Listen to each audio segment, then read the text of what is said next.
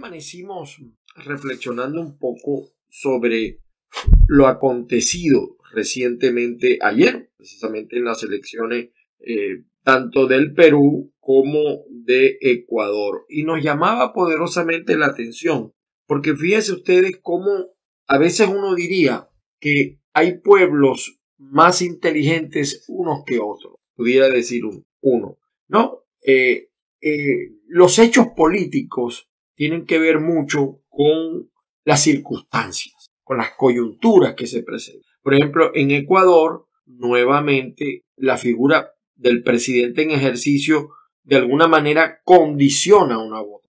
El actual presidente de Ecuador fue electo bajo el auspicio de el señor Correa, pero y, y el que acaba de ganar el señor Lazo bajo el auspicio, o por lo menos, no auspicio, porque la palabra no sería auspicio, por lo menos no es contrario al actual presidente que gracias a Dios abrió los ojos de lo que es el socialismo. Y fíjense que hago este comentario porque me parece muy interesante que América del Sur empiece a abrir los ojos, que América del Sur despierte, despierte y no caiga, no siga cayendo en las garras del socialismo.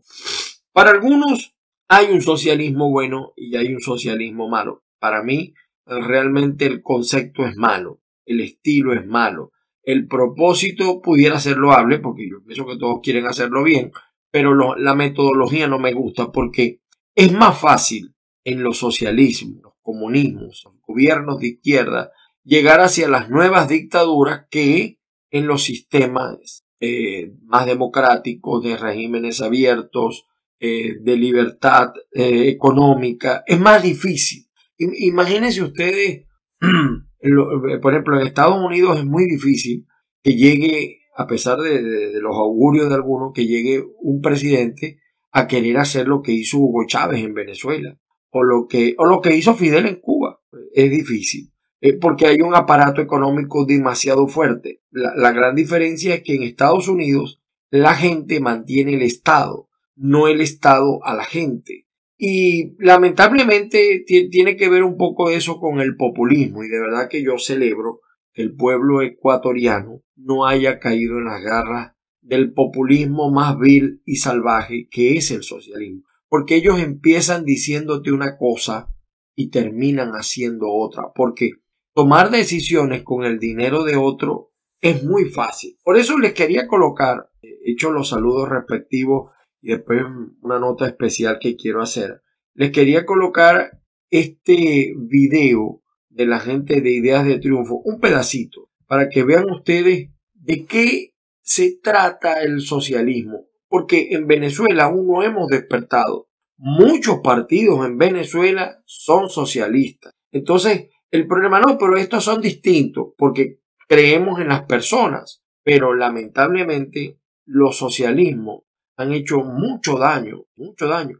Eh, la, eh, eh, el, el, el, vamos a decir, la figura política que más gente ha matado no fue Adolf Hitler, que también mató muchísima gente, fue Mao, la revolución china, ¿verdad?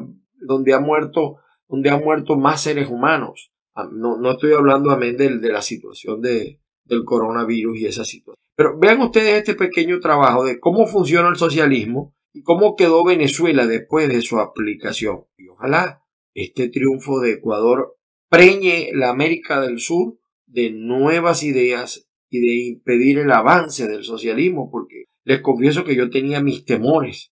Bueno, de, hecho, los resultados en, Ecuador, fíjense que aún así la diferencia no fue abismal. O sea, que, que todavía viendo el desastre de Venezuela, de Cuba, eh, haya gente que crea en los socialistas. Y fíjense ustedes. Bueno, en Perú eh, ganó un socialista, aunque van a segunda vuelta y vamos a decirlo así, es la peor votación eh, que un candidato oficialista saca, o sea, del partido de gobierno, para ir a una reelección.